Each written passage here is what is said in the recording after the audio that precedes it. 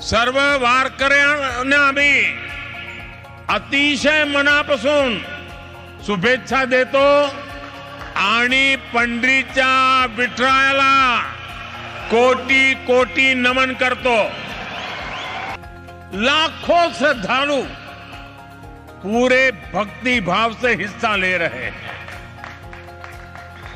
पुणे से पंढरपुर की यात्रा सुगम हो श्रद्धालुओं को सुविधाएँ मिले, इसकी चिंता एनडीए सरकार ने की है। संत ज्ञानेश्वर पालकी मार्ग करीब 200 किलोमीटर पूरा हो चुका है। संत तुकाराम पालकी मार्ग भी 110 किलोमीटर से ज़्यादा पूरा किया जा चुका है। बहुत ही जल्द ये दोनों मार्ग भी यात्रियों की सेवा के लिए तैयार हो जाएँगे।